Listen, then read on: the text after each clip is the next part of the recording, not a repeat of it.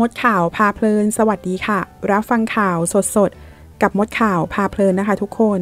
แจ็คพอตแตกผู้โชคดีถูกรางวัลใหญ่ลอตเตอรี่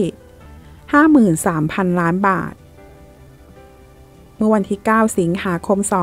2566 เว็บไซต์ข่าว BBC รายงานว่า Mega Millions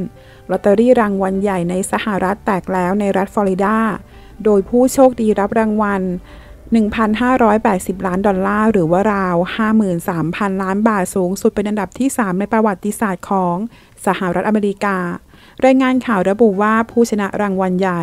ซื้อลอตเตอรี่ที่ซูเปอร์มาร์เก็ต Publix ที่เนปจูนบีช ใกล้ๆกับเมืองแจ็กสันวิลผู้โชคดีซื้อเลข 2 หลักถูกทั้งหมด 6 ตัว ในข่าวเดียวกันก็คือ 13 19 20 32 33 ลูกเมกะทองคำเลข 14 ซึ่งตามตัวเลขแล้วมีโอกาสความเป็นไปได้แค่ 1 ใน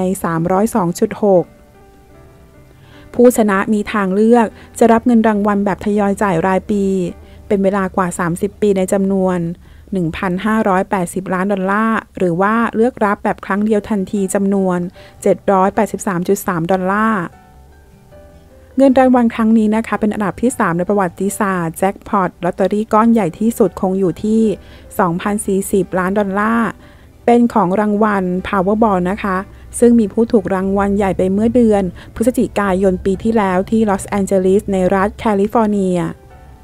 โดยลอตเตอรี่นะคะ ขายในราคา 2 ดอลลาร์ใน 45 รัฐทั่วอเมริกา วอชิงตัน ดีซี และหมู่เกาะเวอร์จินค่ะ ขอขอบคุณข้อมูลจากสยามนิวค่ะ ถ้าเพื่อนๆชอบคลิปนี้ฝากกดไลค์และกดกระดิ่งติดตามเพื่อเป็นกำลังใจให้ช่องมดข่าวพาเพลินด้วยนะคะ ขอบคุณค่ะ